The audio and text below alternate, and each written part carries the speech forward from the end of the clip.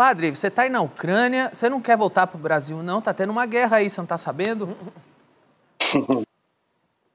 Eu acho que eu tô sabendo sim. Tô vendo, tô A escutando. Rússia cortou o áudio dele. Dá uma subida no áudio, não tá dando para ouvir que a gente tá ao vivo aqui agora.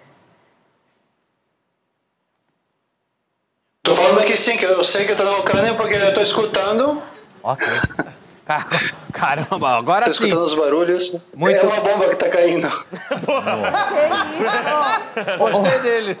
Padre Lucas, é sério? Você tá em área de conflito? Você tá ouvindo barulhos de guerra aí? Não.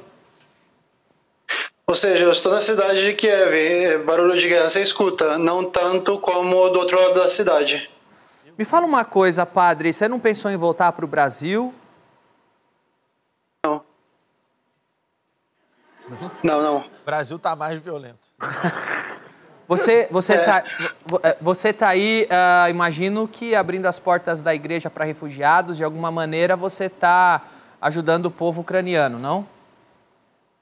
Sim, eu moro aqui já há 18 anos nesse país. E eu me sinto um, um deles também, né?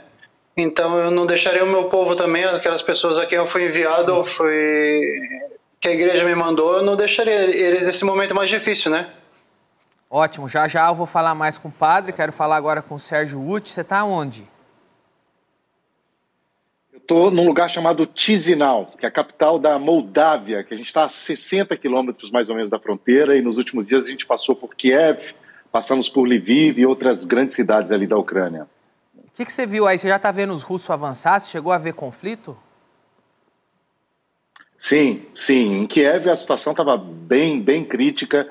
Inclusive a gente tomou a decisão de deixar o hotel onde a gente estava em Kiev porque ele foi é, tomado por milícias, milícias formadas por ucranianos mesmo para defender é, a, capital. E ao ser tomado por milícias, o hotel acaba se transformando em um alvo para os russos. Né? Então de lá a gente foi para um plano B, a gente tinha um plano B, um plano C, e aos, todos se esgotaram, a gente teve que se deslocar até Lviv, que é quase na fronteira com a Polônia.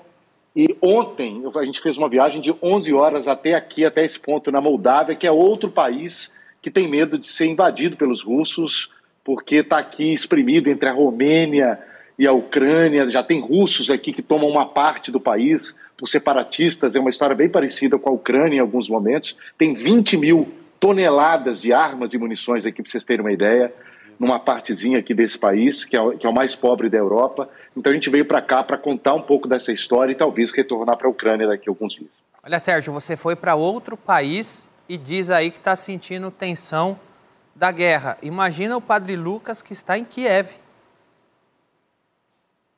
É, ele está pior do que eu, na verdade. Né? Eu estava lá alguns dias, estava lá dias atrás. Padre está mais corajoso, mas é, a gente tem que, a gente tem, no, no nosso caso, no nosso caso de jornalista, a gente tem certos é, padrões para seguir.